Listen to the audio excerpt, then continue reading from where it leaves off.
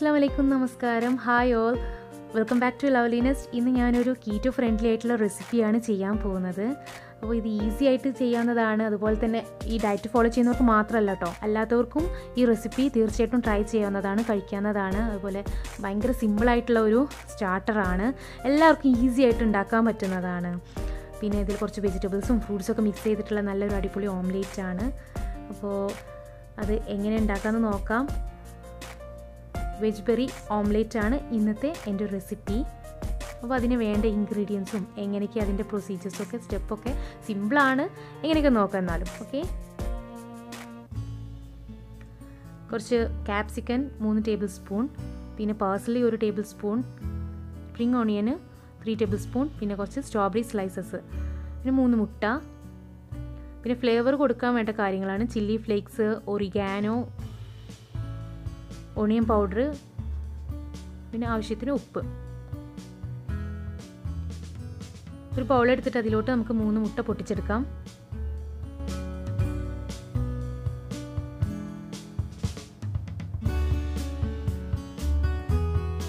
ഇനി ആവശ്യത്തിന് ഉപ്പ്. ഉപ്പ് ചേർക്കുമ്പോൾ നിങ്ങളെ ഇഷ്ടാനുസരണം ചേർക്കുക കേട്ടോ. അത് ചിലർക്ക് കൂടുതൽ ആവശ്യമുള്ളവരുണ്ടാവും അല്ലെങ്കിൽ കുറച്ച് മതിയാവും ചിലർക്ക്. അപ്പോൾ അതിന് അതൊക്കെ നോക്കിയിട്ട് നിങ്ങൾ ആവശ്യാനുസരണം ചേർത്ത് കൊടുക്കാം. നെക്സ്റ്റ് നമുക്ക് അരിഞ്ഞു വെച്ചിട്ടുള്ള വെജിറ്റബിൾസ് ആഡ് ചെയ്ത് കൊടുക്കാം. ആദ്യം ക്യാപ്സിക്കം ചേർത്ത് കൊടുക്കാം. പിന്നെ പാസലി സ്പ്രിംഗ് ഓണിയും കൂടി ചേർത്ത് കൊടുക്കാം. ഇനി നന്നായിട്ട് ഇതുപോലെ ഒരു വിസ്കോ അല്ലെങ്കിൽ ഫോർക്കോ എന്തെങ്കിലുമൊക്കെ ഉപയോഗിച്ചിട്ട് നന്നായിട്ടൊന്ന് പതിപ്പിച്ചെടുക്കാം. അപ്പോൾ ഇതില്ലെങ്കിൽ നിങ്ങൾക്ക് ഈസി ആയിട്ട് ചെയ്യാൻ പറ്റുന്നത് വെച്ചാൽ മുട്ട വെജിറ്റബിൾസ് ചേർത്ത് ചേർത്ത് കൊടുക്കുന്നതിന് മുന്നായിട്ട് മിക്സിയിലൊക്കെ ഇട്ട് അടിച്ചിട്ട് പിന്നെ വെജിറ്റബിൾസ് ചേർത്ത് കൊടുത്താലും അങ്ങനെയും ചെയ്യാം കേട്ടോ. ഇപ്പോൾ നമ്മുടെ എഗ്ഗ് നന്നായിട്ടൊന്ന് പതിഞ്ഞു വന്നിട്ടുണ്ട്. ഇനി ബാക്കിയുള്ള ഇൻഗ്രീഡിയൻസ് ഒക്കെ പാനിൽ വെച്ചിട്ട് കുക്ക് ചെയ്യുന്ന സമയത്ത് ചേർത്ത് കൊടുക്കാം. അപ്പോൾ പാൻ വെച്ച് നന്നായി ചൂടായിട്ടുണ്ട്. ഇനി ഓയിൽ ഒഴിച്ചെടുക്കുക അപ്പോൾ ഞാൻ ഇവിടെ ഒലീവ് ഓയിലാണ് എടുത്തിട്ടുള്ളത്. ഡയറ്റൊക്കെ ഫോളോ ചെയ്യുന്നവർക്ക് വേണമെങ്കിൽ ബട്ടർ യൂസ് ചെയ്യാം അല്ലെങ്കിൽ കോക്കനട്ട് ഓയിൽ യൂസ് ചെയ്യാം. അവർ ഇഷ്ടത്തിനനുസരിച്ച് മാറ്റം വരുത്താം കേട്ടോ അപ്പോൾ ചൂടായ ഒലിവ് ഓയിലോട്ട് നമ്മൾ മുട്ട അടിച്ചത് ഒഴിച്ചു കൊടുത്തു. ഈ ഒരു ടൈമിൽ നമുക്ക് ഫ്ലെയിം ഒന്ന് കുറച്ചെടുക്കുന്നത് നല്ലതായിരിക്കും.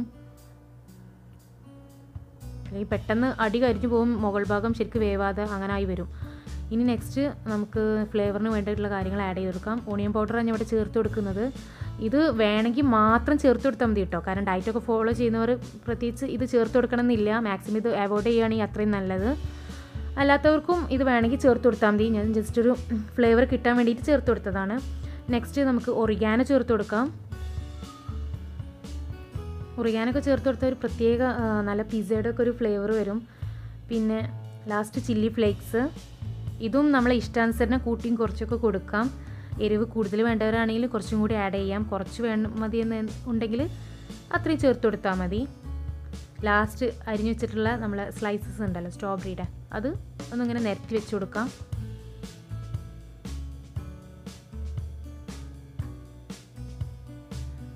സ്ട്രോബെറി ഇതിൽ ചേർക്കാനുള്ള കാരണം ഇവിടെ തക്കാളി ചേർത്തിട്ടില്ല. അപ്പോൾ ഈ സ്ട്രോബെറി ഈ ഒരു ഫ്രൂട്ടിന് ഒരു പ്രത്യേകത എന്താ വെച്ചാൽ മധുരത്തേക്കാളും കുറച്ചുകൂടി മുന്നിട്ട് നിൽക്കുന്നത് ഒരു പുളിപ്പ് രസമാണ്.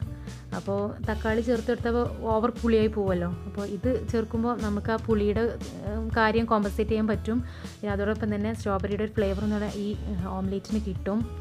നല്ല ടേസ്റ്റാണ് പിന്നെ വേണമെന്നുണ്ടെങ്കിൽ ഇതിന്റെ മുകളിൽ ചീസും കൂടി വേണമെങ്കിൽ ആവശ്യമുള്ളവർ ഗ്രേറ്റ് ചെയ്തിടാം ഞാനിവിടെ ചേർത്ത് കൊടുത്തിട്ടില്ല.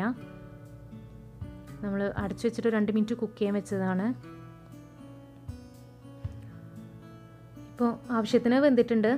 ഇനി നമുക്കതൊന്ന് മറിച്ചിട്ട് കൊടുക്കാം. ഒന്ന് ആ മുകൾ ഭാഗം കൂടി ഒന്ന് ജസ്റ്റ് ഒന്ന് ക്രിസ്പായി കിട്ടാൻ വേണ്ടിയിട്ട്.